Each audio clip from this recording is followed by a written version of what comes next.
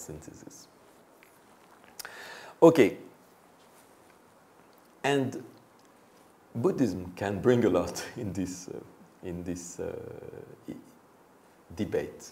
Why? Because a Buddhist could notice that Western civilization became so enticed by the objective targets of their technologies that they overlooked the fact that every research originates in human minds and consciousness.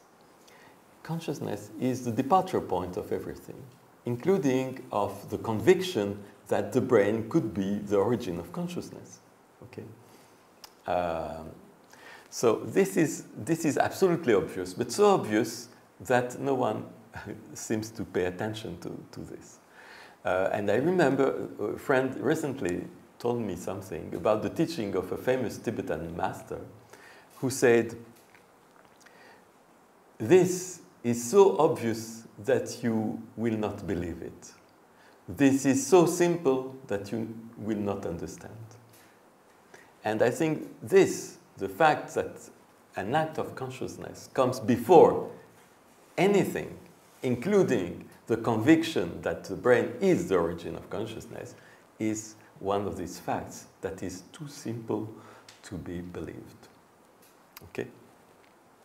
But, and I, but fortunately, some philosophers in the West were aware of this problem. And Edmund Husserl, whom I, I will uh, expound very uh, much more at length tomorrow, uh, have, had understand that. According to Husserl, this forgetfulness, this oblivion of the primacy of consciousness triggered what he called the crisis of European sciences. European science, namely Western science, uh, is both amazingly successful but full of difficulties and paradoxes. One of them is the hard problem of consciousness. Another one is the measurement problem, the cat paradox in quantum physics, and so on and so on. All these paradoxes completely disappear as soon as you understand that the whole inquiry starts with an act of consciousness. So by engaging with Buddhism, researchers gain a first-hand contemplative approach to consciousness, which enables them to overturn the ill-posed problem of its material origin. When they realize that every problem they ask is asked in an act of consciousness, then they understand that the problem was ill-posed. By the way, I can tell you my own story on this point, because it illustrates what I say, I'm saying. I was, uh, you know, I was uh, in 2008 to a summer school of mind and life uh, in Garrison, New York. And uh, there was a harsh debate about consciousness. Even Buddhist scientists sometimes have, are very reductionist. And uh, I, I, was trying to, to, to argue with them, to, to convince them, and so on. And they tried to convince me, of course. And uh, we didn't reach any conclusion. Uh, arguments were equal. They, they could not really convince each other. And then, fortunately, there was one day of meditation, one day complete silence meditation, only one day. And I must say, for the whole uh, session of the morning, my mind was extremely uh, buzzing active. And I was thinking of, of these arguments again and again and again.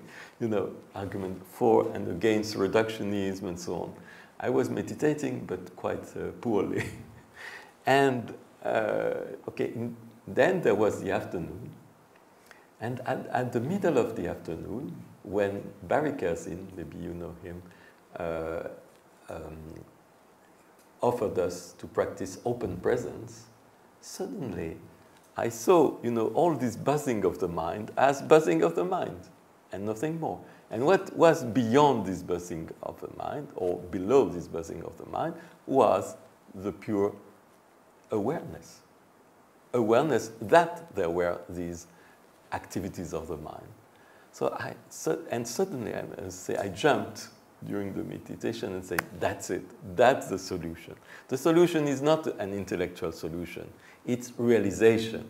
Realization that consciousness is there before any question is raised, and that questions, discussions, arguments, intellectual uh, activities are all you know, swimming in uh, an ocean of consciousness.